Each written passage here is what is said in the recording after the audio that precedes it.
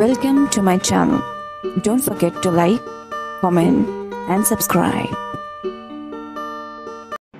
Hello ഞാൻ വേണുഗോപാൽ. എന്റെ ഈ ചാനലിലേക്ക് എല്ലാവർക്കും സ്വാഗതം. ഇന്നത്തെ വിഷയം ഹാവ്സ് ആൻഡ് ഹാവ് നോട്ട്സ് ഉള്ളവരും ഇല്ലാത്തവരും.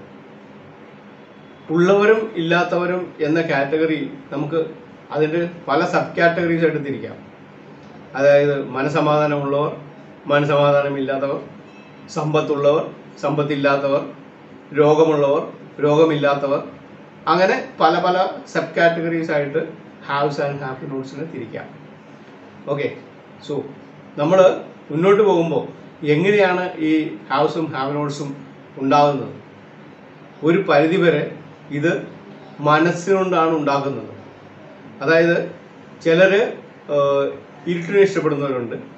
ചിലർ വെളിച്ചത്തെ ഇഷ്ടപ്പെടുന്നവരുണ്ട്. ഓക്കെ. ഇരുട്ടിനെ ഇഷ്ടപ്പെടുന്ന ആൾക്കാരെ പൊതുവെ നോക്കിക്കഴിഞ്ഞാൽ അവർ പെസിമിസ്റ്റുകളായി ശുഭാപ്തി വിശ്വാസക്കാരാവില്ല. അതേസമയം വെളിച്ചത്തെ ഇഷ്ടപ്പെടുന്ന ആൾക്കാർ നയന്റി നയൻ പെർസെന്റും ശുഭാപ്തി വിശ്വാസക്കാരായിരിക്കും. എന്തു വന്നാലും നമുക്ക് മുന്നോട്ട് പോകാൻ കഴിയും. അല്ലെങ്കിൽ എന്തു വന്നാലും നമുക്ക് മുന്നോട്ടൊരു ഭാവിയുള്ളത് വളരെ ശോഭനമായിരിക്കും അല്ലെങ്കിൽ ശുഭകരമായിരിക്കും എന്ന് ചിന്തിക്കുന്നതിനായിരിക്കും വെളിച്ചത്തെ ഇഷ്ടപ്പെടുന്ന കൂട്ടർ. അതേസമയം ഇരുട്ടിനെ ഇഷ്ടപ്പെടുന്ന കൂട്ടർ എല്ലാത്തിലും എന്തെങ്കിലും പ്രശ്നം കാണും. എന്ത് കാര്യം പറഞ്ഞാലും ഉടനെ അതൊരു നെഗറ്റീവ് കമന്റ് ആയിരിക്കും അവരുടെ അടുത്ത് ആദ്യം വരിക. പോസിറ്റീവ് കമന്റ് വരാൻ വലിയ ബുദ്ധിമുട്ടായിരിക്കും അങ്ങനെയുള്ളവർ അപ്പോൾ ബേസിക്കലി ഇത് നമ്മൾ നമ്മുടെ മനസ്സുകൊണ്ട് സങ്കല്പിച്ച് കൂട്ടുന്നതാണ് ഒരു പരിധി വരെ. കംപ്ലീറ്റ് ആണെന്ന് ഞാൻ പറയില്ല.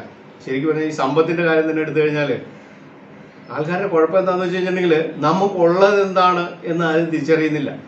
നമുക്ക് ഇല്ലാത്തതിനെ കുറിച്ചാണ് വേവലാതി മനസ്സിലായിട്ടില്ലേ? ഇപ്പം എന്നെ സംബന്ധിച്ച് എനിക്ക് എന്തൊക്കെ ഉണ്ട് എന്ന് ഞാൻ ആദ്യം അറിഞ്ഞു കഴിഞ്ഞാൽ തന്നെ എന്റെ മനസ്സമാനം എനിക്ക് കിട്ടും.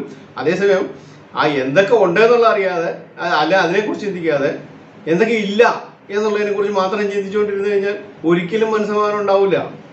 നമ്മൾ പിന്നെ ഈ ഭാവിയെക്കുറിച്ചുള്ള ചിന്തകൾ ഈ ഭാവിയെക്കുറിച്ചുള്ള ചിന്തകളും ഒരു പരിധിക്ക് അപ്പുറത്ത് പോയി കഴിഞ്ഞാൽ ശരിയാവില്ല കാരണം നമ്മൾ എന്തൊക്കെ ചിന്തിച്ചു കൂട്ടിയാലും ഭാവി കംപ്ലീറ്റ് ഒന്നും നമ്മുടെ കയ്യിലല്ല. നമ്മൾ വിചാരിക്കുന്ന മാതിരി കാര്യങ്ങൾ പോയിക്കൊള്ളണമെന്നില്ല അപ്പോൾ അതുകൊണ്ട് ഒരുപാട് ഭാവിയെക്കുറിച്ചും ചിന്തിക്കാണ്ടിരുന്നാൽ മനസ്സമാനം ഉണ്ടാവും. നമുക്ക് ഇപ്പോൾ കഴിഞ്ഞുകൊണ്ടല്ലോ അങ്ങനെ ഇങ്ങനെ പോട്ടെ. ഇപ്പോൾ പ്രശ്നങ്ങളില്ലല്ലോ. അങ്ങനെ പോട്ടെ എന്ന് വിചാരിക്കുകയല്ല. പലരുടെയും കുഴപ്പം വെച്ചാൽ നാളെ എന്താവും? എന്റെ മക്കളുടെ ഭാവി എന്താവും? മക്കളുടെ മക്കളുടെ ഭാവി എന്താ? ഒരു തലമുറ രണ്ട് മൂന്ന് തലമുറ അപ്പുറത്തോട്ടാണ് ചിന്തിക്കണേ. നമുക്ക് അത്രയും നാളെ ജീവിതം ഉണ്ടോ ഇല്ലയോ എന്നുള്ള രണ്ടാമത്തെ കാര്യം. അതിനെക്കുറിച്ചൊന്നും ആലോചിക്കുന്നില്ല നമ്മുടെ മക്കൾ നമ്മുടെ മക്കളുടെ മക്കൾ അങ്ങനെയാണ് നമ്മുടെ ചിന്ത പോണത്.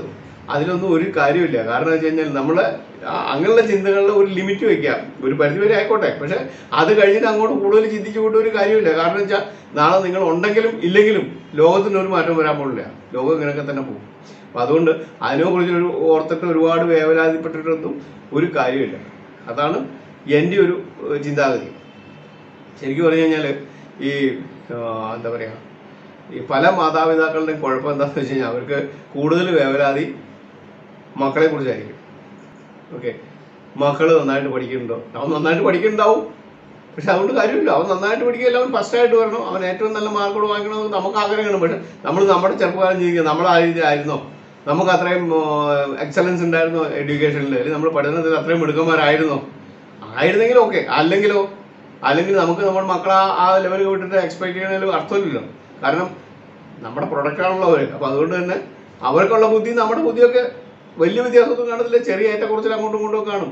അത് മനസ്സിലാകാതെ വേറെ അപ്പുറത്തിരിക്കുന്നവന് ഡിസ്ട്രിക്ഷൻ ഉണ്ട് അല്ലെങ്കിൽ അപ്പുറത്തിരിക്കുന്നവൻ ഫസ്റ്റ് ക്ലാസ് ഉണ്ട് അല്ലെ അപ്പുറത്തിരിക്കുന്നവൻ കോമ്പറ്റേറ്റീവ് എക്സാമിനൊക്കെ ഏറ്റവും മികച്ചനായി വന്നു എന്ന് പറഞ്ഞുകൊണ്ട് നമ്മുടെ മക്കൾ അതുപോലെ തന്നെ ആവണം എന്ന് വിചാരിക്കുന്ന അർത്ഥമില്ല നമ്മുടെ മക്കൾക്ക് അവരുടേതായ കഴിവുകളുണ്ട്. അത് അവർ വേണ്ട സമയത്ത് അത് തന്നെ പുറത്തേക്ക് വന്നോളൂ. അതിനുവേണ്ടി ഒരുപാട് ഈ ഇഞ്ച ഇടിക്കുന്നവരെ ഇടിച്ചു പിഴിയേണ്ട കാര്യമൊന്നുമില്ല. പക്ഷെ പല മാതാപിതാക്കളും ഇതൊന്നും ആലോചിക്കാറില്ല. അപ്പുറത്തുള്ളവരെ എന്ത് കിട്ടി എന്നുള്ളതാണ് നോക്കുന്നത് അതാണ് ഞാൻ പറഞ്ഞത് നമ്മുടെ മനസ്സിലാണ് നമുക്ക് ആദ്യം തൃപ്തി വേണ്ടത്. മനസ്സുകൊണ്ട് സമ്പന്നനായിരിക്കണം. മനസ്സുകൊണ്ട് സമ്പന്നനാണെങ്കിൽ അവർ വേറെ പ്രശ്നങ്ങളൊന്നുമില്ല. സാം സമ്പത്തൊക്കെ തന്നെ വരും. സമയമാകുമ്പോൾ സമ്പത്തൊക്കെ എവിടെന്നെങ്കിലും വരും. നിങ്ങൾ അങ്ങനെ വിശ്വസിച്ചുകൊണ്ടിരുന്നാൽ മതി. സമ്പത്ത് വരും എന്ന് വിശ്വസിച്ച ആ സമയത്ത് സമ്പത്ത് വന്നിരിക്കും. അല്ലെങ്കിൽ നമുക്ക് ആവശ്യമുള്ള സമയത്ത് പിന്നെ കോടിക്കണക്കിന് രൂപയൊന്നും അല്ല പക്ഷെ നമുക്ക് ആവശ്യമുള്ള സമയത്ത് ആവശ്യത്തിനുള്ള കാശ് വരും. എന്റെ ഒരു അനുഭവം അങ്ങനെയാണ്. അതായത് സമയം നമുക്ക് ആ സമയമാകുമ്പോൾ എവിടെന്നെങ്കിലും പൈസ വന്നിരിക്കും. നമ്മുടെ ശുഭാപ്തി വിശ്വാസം കൈവിടായിരിക്കും അത് വരും. നമ്മൾ അങ്ങനെ വിശ്വസിച്ച് കഴിഞ്ഞാൽ ആ വിശ്വാസം നടക്കും. അതെന്റെ ഇന്നേവരുള്ള ഒരു അപ്പം അങ്ങനെ ചിന്തിച്ചു കഴിഞ്ഞാൽ മനസ്സിന് വലിയ വിഷമമൊന്നും ഉണ്ടാവില്ല. ഈ മനസ്സമാനം കിടന്നതിന്റെ മെയിൻ കാര്യം എന്താണെന്ന് വെച്ച് കഴിഞ്ഞാൽ ഈ ഒരുപാടുള്ള ചിന്തകളാണ്. ആവശ്യമില്ലാത്ത ചിന്തകൾ എന്തിനാവശ്യമില്ലാതെ ചിന്തിക്കുന്നത് നമ്മൾ ഒരു ഒരു കുറച്ച് ദൂരം മുന്നോട്ട് ചിന്തിച്ചാൽ ഒരുപാട് ദൂരം മുന്നോട്ട് ചിന്തിക്കുമ്പോൾ ജീവിതത്തിൽ ഒരിക്കലും സുഖം ഉണ്ടാവില്ല. ഒരിക്കലും ആർക്കും സുഖം ഉണ്ടാവില്ല. അപ്പോൾ അതുകൊണ്ട് തന്നെ മനസ്സമാനം കെടുത്തുന്നത് നമ്മൾ തന്നെയാണ് നമ്മുടെ. ഒരുപാട് ചിന്തിക്കാണ്ടിരിക്കുക. നമുക്ക് കിടക്കാനുള്ള കാര്യങ്ങൾ നടക്കും എന്നങ്ങൾ തീർത്ത് വിശ്വസിക്കുക. ഈ പലരും ദൈവവിശ്വാസം ഉണ്ട് എന്ന് പറയുന്നുണ്ട്. എനിക്ക് സംശയമുണ്ട്. കാരണം വെച്ച് കഴിഞ്ഞാൽ ദൈവത്തിൽ വിശ്വസിക്കണമെങ്കിൽ പിന്നെ നിങ്ങൾ എന്തിനായി വേറെ കാര്യങ്ങൾ ഒരുപാട് ചിന്തിക്കണേ? ദൈവത്തിലൂടെ ദൈവത്തിൽ നിങ്ങൾ കംപ്ലീറ്റ് ഹൺഡ്രഡ് പെർസെന്റ് വിശ്വാസം ഉണ്ടെങ്കിൽ വേറൊരു കാര്യത്തിൽ നിങ്ങൾ എന്തിനാ എന്താ പറയുക വേറെ ഒരുപാട് കാര്യങ്ങൾ ചിന്തിച്ച് വിഷമിക്കേണ്ട കാര്യമില്ലല്ലോ. കാരണം ദൈവം നോക്കുള്ളൂ അല്ലേ ദൈവത്തിന് നല്ല പവർ ഉണ്ടെന്നുള്ള നമ്മുടെ ഒരു ധാരണ. ആ ഒരു ധാരണ കറക്റ്റ് ആണെങ്കിൽ അല്ലെങ്കിൽ ആ ധാരണയിൽ നിങ്ങൾ വിശ്വസിക്കുന്നുണ്ടെങ്കിൽ നിങ്ങൾക്ക് വിഷമിക്കേണ്ട കാര്യമില്ല. കാരണം ദൈവം ആ സമയത്ത് നിങ്ങൾ സംരക്ഷിച്ചോളും. എന്തായാലും ഇതാണ് എന്റെ ഒരു കാഴ്ചപ്പാട്. നമ്മൾ ഒരുപാട് കഷ്ടപ്പെടുക അല്ലെങ്കിൽ ഒരുപാട് ദൈവം നമ്മൾ ഇങ്ങോട്ട് പറഞ്ഞു വിട്ടേക്കുന്നത് ഒരുപാട് കഷ്ടപ്പെടാനല്ല. സന്തോഷമായിട്ട് ജീവിക്കാനാണ് സുഖമായിട്ട് ജീവിക്കാനാണ്. അത് ചില കുറിച്ചൊക്കെ നമ്മൾ കാണിക്കുമ്പോൾ ചിലപ്പോൾ നമ്മൾ പെട്ടുപോകും പക്ഷേ എന്നാലും ദൈവത്തിൽ ഹൺഡ്രഡ് പെർസെന്റ് വിശ്വാസം ഉണ്ടെങ്കിൽ വിശ്വാസമുണ്ടെങ്കിൽ നിങ്ങൾ രക്ഷപ്പെടും. അതാണ് എനിക്ക് പറയാനുള്ളത്. എന്റെ ഒരു അനുഭവം അങ്ങനെയൊക്കെ തന്നെയാണ്. കാരണം വെച്ചാൽ എത്ര എന്താ പറയുക എത്ര കഷ്ടപ്പാടി കിടന്നിട്ടാണെങ്കിലും നമ്മൾ നാളെ നന്നാവും. എന്ന് വിചാരിക്കുക. നാളെ നന്നായി തന്നെ വരും. നാളെ നാളെ എല്ലാം ശരിയാവും എന്ന് വിചാരിക്കും നാളെ എല്ലാം ശരിയാവും ശരിയായി വരും. അത് വളരെ പ്രാക്ടിക്കലായിട്ട് എന്റെ അനുഭവത്തിൽ ഉണ്ടായിട്ടുള്ള കാര്യങ്ങളാണ്. അതുകൊണ്ട് ഞാൻ എന്റെ ഒരു എന്താ പറയുക അഡ്വൈസ് ഒന്നും പറയാൻ കഴിയില്ല. ഞാൻ ഉപദേശിക്കാൻ ആരുമില്ല. പക്ഷേ എന്റെ ഒരു എന്റെ ഒരു ഒരു ഒരു വാക്ക് എന്താണെന്ന് വെച്ച് കഴിഞ്ഞാൽ നിങ്ങൾ ജീവിതത്തിലെ ഭാവിയെക്കുറിച്ച് ഒത്തിരി ചിന്തിച്ച് വെറുതെ മനസ്സ് വേവലാതിപ്പെടുത്താണ്ടിരിക്കുക. എല്ലാം നടക്കേണ്ട സമയത്ത് നടന്നോളും. നിങ്ങൾ വിശ്വസിച്ചുകൊണ്ടിരുന്നാൽ മതി. അതായത് നിങ്ങൾ പോസിറ്റീവ് ചിന്താഗതി മനസ്സിൽ. ഇരു ഇരുട്ടിനെ സ്നേഹിക്കാതിരിക്കുക. വെളിച്ചത്തെ സ്നേഹിക്കുക. ഇരുട്ടിനെ സ്നേഹിക്കാതിരിക്കുക. അപ്പോൾ ഓട്ടോമാറ്റിക്കലി നിങ്ങളുടെ മനസ്സിൽ വെളിച്ചം വരും നിങ്ങളുടെ കാര്യങ്ങളിൽ വെളിച്ചം വരും നിങ്ങളുടെ ജീവിത രീതിക്ക് വെളിച്ചം വെളിച്ചം എന്ന് ഞാൻ പറഞ്ഞു ഉന്നമനമാണ്. ഉന്നമനം വരും. അങ്ങനെ നിങ്ങൾ പുരോഗതിയിലേക്ക് നിന്നും പുരോഗതിയിലേക്ക് കയറിക്കൊണ്ടിരിക്കും. അത് അല്ലാതെ വെറുതെ നാളെ എന്ത് നടക്കും അല്ലെങ്കിൽ നാളെ മറ്റന്നാൾ എന്ത് നടക്കും എന്നൊക്കെ വിചാരിച്ച് ഇപ്പം ഇരുന്നിട്ട് ചിന്തിച്ചുകൊണ്ടിരുന്നിട്ട് ഒരു കാര്യമില്ല ജീവിതത്തിൽ കാരണം ഞാൻ പറഞ്ഞില്ലേ ഒന്നും ശാശ്വതമല്ല. ശാശ്വതമായിട്ടുള്ളത് നമ്മളിപ്പം ഇപ്പം ഇന്നാണ് ശാശ്വതം. ഇന്ന് മാത്രമേ ഉള്ളൂ ശാശ്വതം. ഇന്നലെ കഴിഞ്ഞു പോയി. നാളെ വരാനിരിക്കണം നമുക്ക് അറിഞ്ഞുകൂടാ. പക്ഷെ ഇന്ന് ഇന്ന് ഭംഗിയായിട്ട് ജീവിക്കാൻ ശ്രമിക്കുക. അതാണ് എന്റെ ഒരു അഡ്വൈസ് ഞാൻ പറഞ്ഞ അഡ്വൈസ് അല്ല ഒരു വാക്ക്. ഇതാണ് എനിക്ക് പറയാനുള്ളത്. താങ്ക് യു എല്ലാവരോടും ഒരു റിക്വസ്റ്റ് ഉണ്ട്. ഈ ചാനൽ ഒരു വളരെ ചെറിയ ചാനലാണ് എല്ലാവരും സബ്സ്ക്രൈബ് ചെയ്ത് ഷെയർ ചെയ്ത് ലൈക്ക് ചെയ്ത് പ്രോത്സാഹിപ്പിച്ചാൽ മാത്രമേ ഈ ചാനലിന് മുന്നോട്ട് ഭംഗിയായിട്ട് പോകാൻ കഴിയൂ.